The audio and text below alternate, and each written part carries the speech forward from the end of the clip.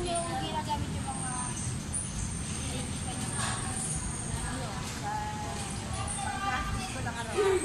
Kailan po ba mag-isa? Meron kasama ko yan.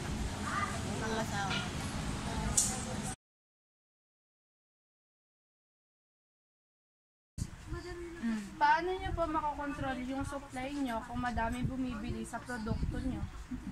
Ah, hindi yun makukontrola na kailangan kapag marami yung gusto, may gusto nun o marami yung bibili nun, kailangan mas marami din yung o-orderin namin nun para ma, maibigay namin yung pangangailangan ng consumer namin, yung mga bibili.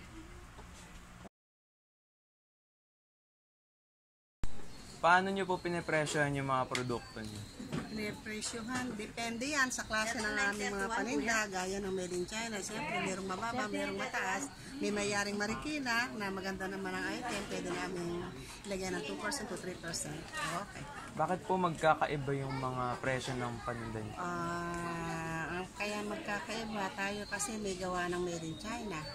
Made in the Philippines, Made in Thailand, Made in Bangkok. That's why na iba-iba ang presyo. Ba yung average na kinikita nyo natin? Eh, hindi pare-parehas. Minsan meron, minsan wala. Tapat lang sa pang-araw-araw. Gusto suspentohan nyo po yung pangangailangan.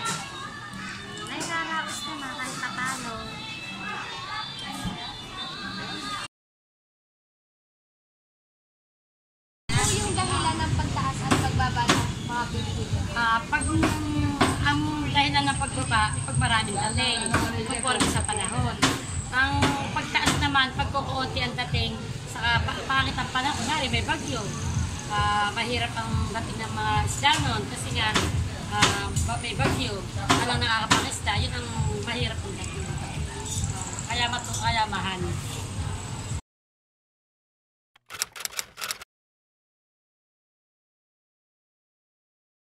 Paano niyo po nababayad yung perang kinikita niyo?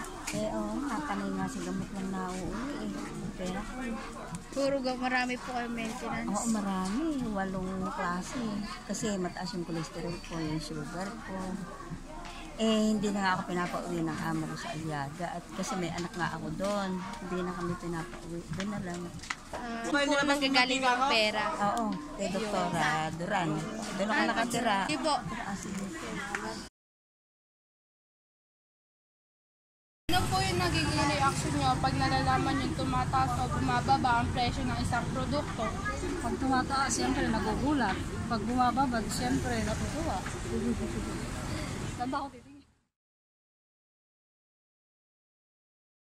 Sangayon po ba kayo sa presyong ipinapatupad ng pamahalaan? Oo.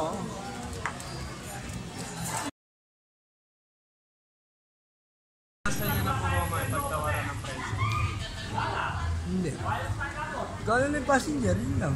Biyahe.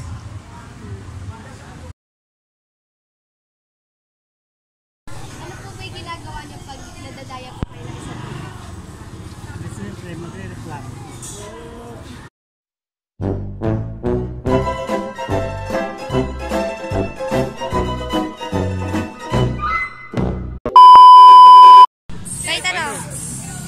Hello. Hello. Hi. Paano nyo po nape-presyo? Nanggagaling yung pera. Oo, kay Doktora Duran. Doon ako nakatira. Oo, doon Ay, doon po kayo? Oh, doon ako nakatira. Matagal na akong kasambahay doon. Ba't kilala mo? Eh, doon po nagpapagamot lang ako. Ah, kay Doktora Duran. Sige po. Ah, sige.